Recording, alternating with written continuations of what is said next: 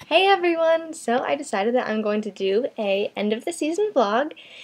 Even though I was MIA all season, I apologize to any of you who actually watched my vlogs. I feel so bad. You, my fans are great, you guys are so supportive, and I promise I have a good explanation for why I have been MIA. So, um, where to start?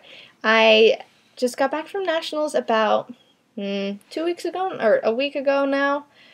Um, and National, it just didn't go the way that I wanted it to, uh, obviously, but I'll get to that later on in this vlog. To start off, um, this season has just been insane. It's been plagued by many a mysterious illness. Um, around, I've been having heart problems, and those I just, I believe they will plague me forever. I've been told I'm not going to die. I don't think I'm going to die from them, so you know what? I'm just going to survive. But um, basically, the only problem with those is that we just can't catch what we need to catch when we need to catch it. Um, so it's just one of those little nuances that I just I have to live with. But that that is manageable. Um, around August, though, I started developing these crazy full-on body tremors, um, and I would just start shaking every, I, and I would have these muscle spasms, and I couldn't control anything, and I, I couldn't stand up. I could barely walk um, or function as a normal human being, so I was getting really concerned. Um, and for a while, it looked like skating was totally out of the picture. Um, so I was devastated. But because of that, I had to take about two weeks off after Champs Camp, which was in August. Um, and then I was visiting all different types of neurologists and other, you know, specialized doctors, and they couldn't figure it out at all. Um, and you know, a couple of ideas were thrown into the air, and they're just all so serious, and I didn't. I was terrified that it was something very serious, but. Luckily, um, I don't know if any of you actually pay attention to my tweets, but I sometimes occasionally tweet about this wonderful man.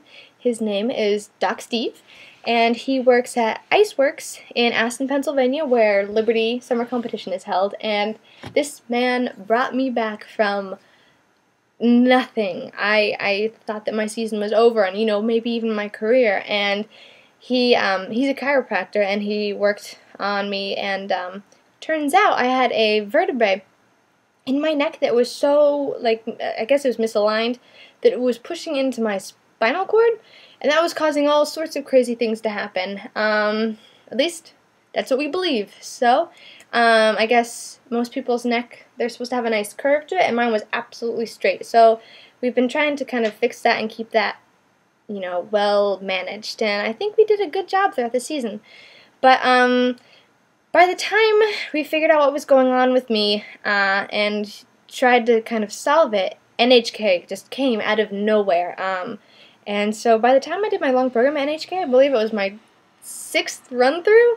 I don't know, I just wish I could have skated with this huge neon sign over my head that said, guys, this is the sixth time I've ever done this. Just believe me, I'm not this horrible.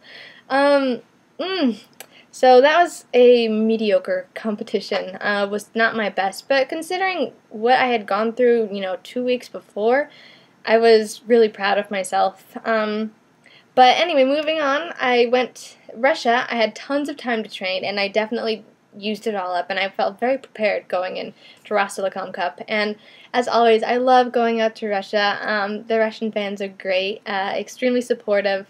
I mean, and NHK was amazing too. Don't get me wrong. Um, I was just a little bit focused and preoccupied with my um, problems out there to really enjoy the competition. But I had a great time at NHK, but I had a really, really great time in Russia. Um, so thank you so much to everyone out there. Um, but the competition went well. I was really happy, and I think I accomplished everything that I wanted to with it. So I went home satisfied, and that's always a great feeling to have.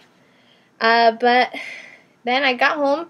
I had a lot of extra time because I didn't end up qualifying for the final, so um, I had some time to train, and I decided to, since you know the season had been so crazy already, I needed a little bit of a break. So um, training slowed down a bit. I didn't completely get off the ice, but I slowed down. Um, took a little bit of a, a winter break. Um, and then started picking everything back up for nationals, and everything was going great. Going into nationals, I felt extremely prepared. I was really excited for the competition. And then I get out there, and there's a flu outbreak, and I got the flu while I was out there. So, um, I mean, I don't think that the flu can, you know, really be blamed for the reason why everything happened and, you know, went down the way it did. I think I was a little bit unprepared for um, skating with the flu, and I think I should have, you know, gotten myself a little bit ready for that, uh, just in case. You never know. So, I think one of the things I'm going to have to work on this year is just being able to take on anything that comes my way. Because um, you never know in competition, you might not be 100%. But um, that's just kind of what you have to deal with. So, uh, coming home from nationals, got a little bit burned. Um, but, you know, I think that everyone has a competition like this that kind of gets, you know, it shocks them a little bit and uh, kind of helps them get their heads screwed on right. So, I think that I am coming away with a lot from nationals, even though I wish that I wasn't um, coming away with this type of stuff. But that is how it is. Um, so I'm just going to use this season now. Most people, uh, there's some people whose seasons are still continuing on, and I, my season is over. So I think that I'm going to use this extra time just to kind of perfect everything. I really want to be known as a well-rounded skater who has the jumps, the spins, and ev- everything. And I think that I'm capable of that. I just have to kind of figure out what changes I need to make, how I need to approach different things, and um, I feel like once I figure that out, I'll be set. But still, um, I have a lot of stuff that I need to work on in the off season, so I'm looking forward to it. I'm excited. But one of the things I want to change is my short program because for some reason I cannot get the right equation for this program. Um, so I think I want to try something a little bit more upbeat, maybe, because um, I think that the music that I choose is so menacing and dark that I kind of psych myself out a little bit going into everything, and I get this tunnel vision, and then it's not the right tunnel vision because obviously I don't have my head in the right place. Um, but I'm excited. I think what I'm going to try and do is um, try different things with show programs, see what I like, and kind of put it into a short program. So, looking forward to that. Um, and I think for now that's my that is my recap of the season. Hopefully you guys understand a little bit why I was MIA, but hopefully throughout the off season I can kind of get some vlogs in so you guys can see what's going on and what life is like for me. Um, but I'm excited for this next year. I think that this year is definitely you know a trial run year. I think I corrected a lot in my technique. Um, the Lutz has improved so much. Triple triples when I'm 100% are pretty pretty decent. So I think now with these next three seasons leading up to the next Olympics, I just have to master everything in here.